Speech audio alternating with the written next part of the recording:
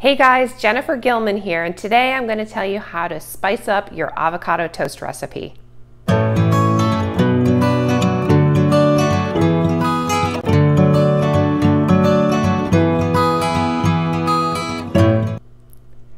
So how do we make that avocado toast a little more flavorful? Well, I'm going to share a recipe with you, and if you like what you see, definitely click on the link for my recipe section and you'll find three other ways to spice up your avocado toast. Today we're going to talk about how to use lemon and rosemary essential oils to make it a little more flavorful. It's very robust. I think you're going to like it.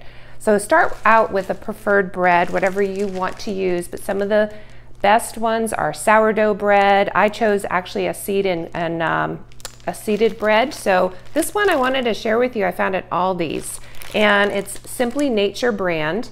And this one here, you could see that. So Simply Nature brand, we've already uh, used quite a bit of it, and it's called Seed-tastic. So when you're picking out a seed or sprouted bread, just make sure you do flip over the other side and take a look at the total number of sugars in one slice. You might be shocked.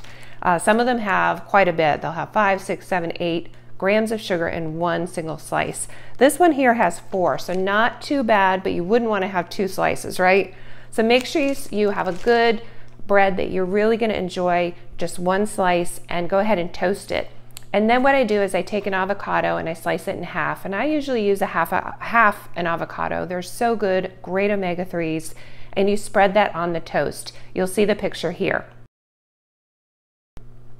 Then I slice up some nice red onion over it. So that's one way I do that. And I'll drizzle it with my favorite olive oil. My favorite olive oil is actually this right here. So you can take just any kind of cruet here, fill it with extra virgin um, olive oil, okay, extra virgin olive oil. And then I put the rosemary, the doTERRA rosemary essential oil in there, and I also put lemon. That's my favorite flavor, so that's the way this recipe goes. So you could start out with five drops of rosemary in this entire bottle here, and 10 drops of lemon. Now I like it a little bit more um, flavorful, so I actually double that recipe. I use 20 drops of rosemary essential oil and 10 drops of lemon. And then that way I have this always at the ready. I can drizzle it on my avocado toast. I could drizzle it over chicken, broccoli, steamed broccoli, steamed asparagus, anything I want, it's ready to go. So what I do now is I've got the toast, I've got the half of avocado on there, the red onion, and then I just sprinkle some of this over the top. And for today's recipe, as you see in the picture, I actually put some black lava salt. You can use any mineral salt, but mineral salts are really good for you. So Himalayan, Celtic sea salt. I use the black lava, lava salt.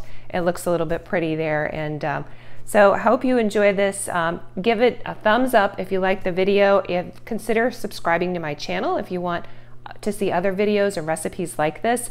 And make sure you check out the comments because I do have a link for my avocado toast recipes, which include four different ways to make it. Bye for now.